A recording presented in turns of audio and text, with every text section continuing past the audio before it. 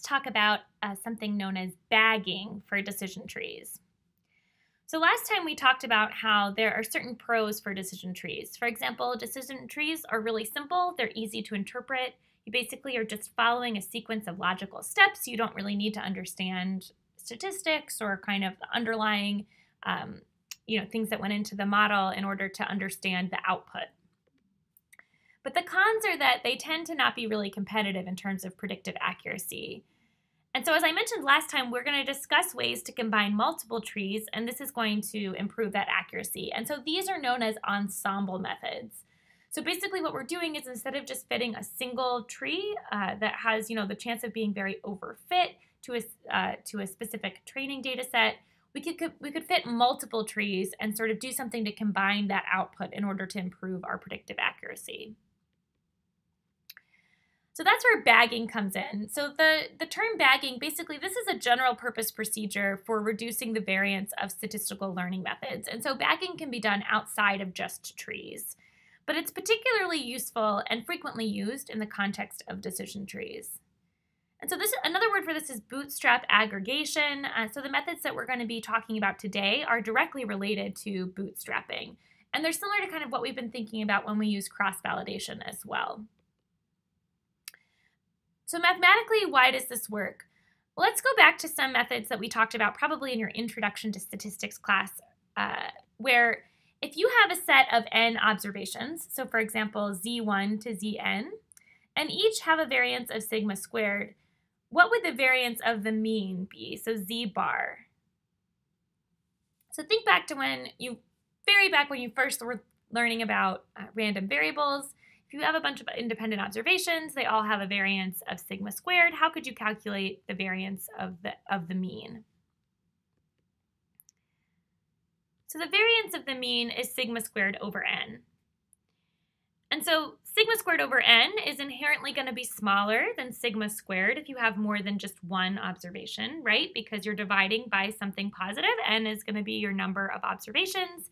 And so uh, this is means that your variance uh, of an average is going to be smaller than the individual variances. So averaging a set of observations is going to reduce that variance. And so in general, this uh, kind of information is not practical because we usually don't have multiple training sets. But that's where bagging comes in, where basically we're going to try to create an environment where uh, instead of just using one tree and getting kind of the average predictions from that, we could average the results over multiple trees. And since we often don't have multiple training sets, uh, we're going to kind of artificially create multiple training sets from our single data set. So we know that averaging a set of observations reduces the variance. We also know that this is not generally practical because we don't usually have multiple training sets. And so what do you think we could do to solve this problem? Kind of using some of the tools that we've already learned.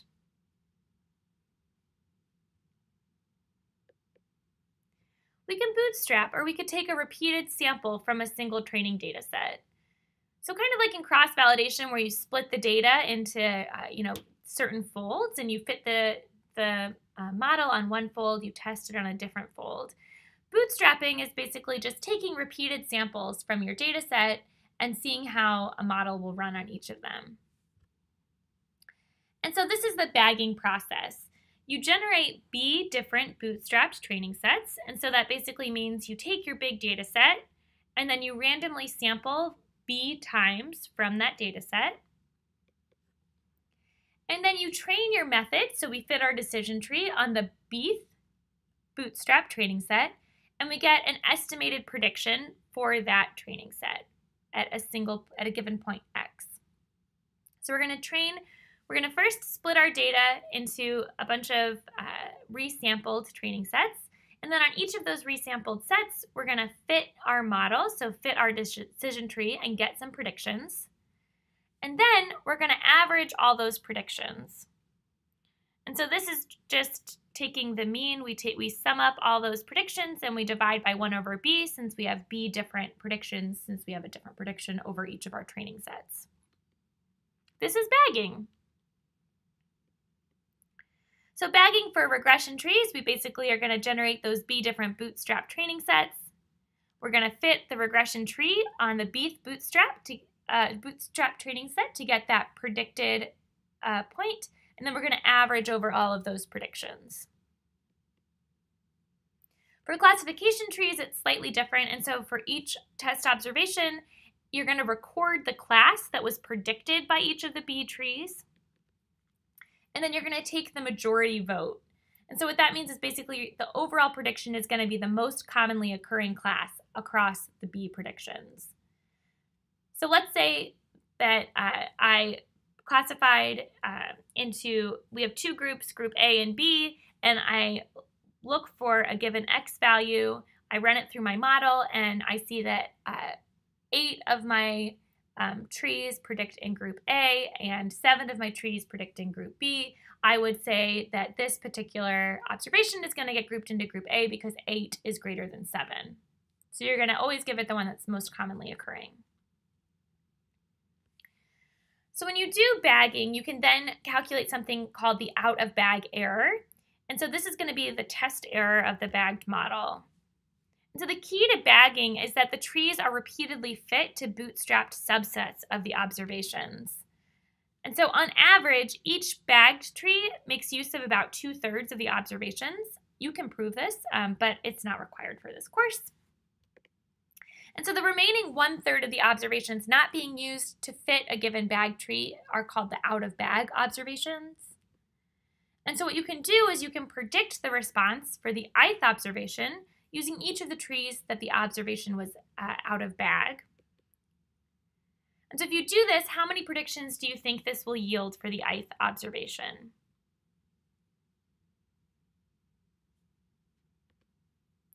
It's going to be b over 3. So basically, if you if you know that uh, two, each one is contributing to two thirds, and you know that uh, one third is going to be out of bag, and so you can divide b, which is your total number of, of uh, training sets, uh, by 3 to figure out how many predictions you're going to get for the ith observation. And then we can average this. And so we'll take those B over 3 predictions.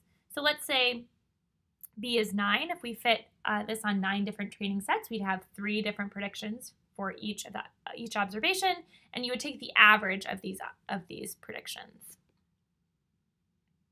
And so this estimate actually is essentially going to be the leave one out cross validation error for bagging as long as B is large. So if you set B to be something big enough, then this is going to basically approximate our leave one out cross validation error, um, which we know is a good, a, a good estimate of the test error. Okay, so what I want you to do is spend five minutes drawing a diagram to basically describe the bagging process to someone who's never heard of this before. So just take some paper and draw out a diagram to kind of be able to describe what's happening in the bagging process, uh, and um, uh, and then we'll talk about this together.